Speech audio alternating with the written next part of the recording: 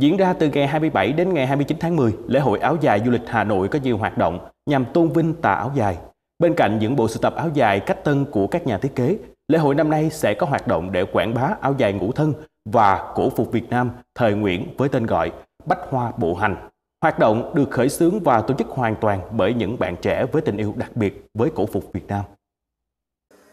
Áo Bình Lĩnh và áo dài ngũ thân Phượng Bào hay áo Nhật Bình đó là tên gọi của một số cổ phục Việt Nam do chính tay những người trẻ tìm tòi và phục dựng.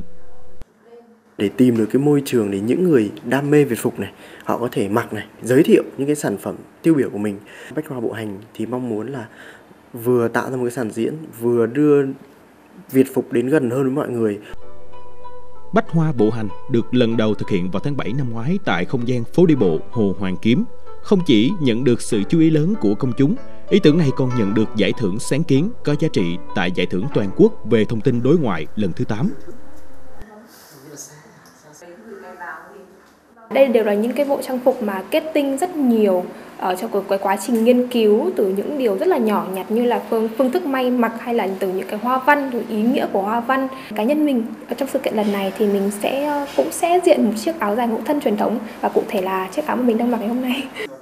Tìm hiểu cổ phục hay trang phục áo dài truyền thống là cách để mỗi bạn trẻ thể hiện tình yêu của mình với những giá trị văn hóa truyền thống những thứ tưởng chừng xưa cũ đã chìm vào lãng quên như tà áo dài ngũ thân đang được chính những bạn trẻ tái hiện tại Bách Hoa Bộ Hành vào thứ bảy này tại phố đi bộ Hoàng Kiếm, Hà Nội.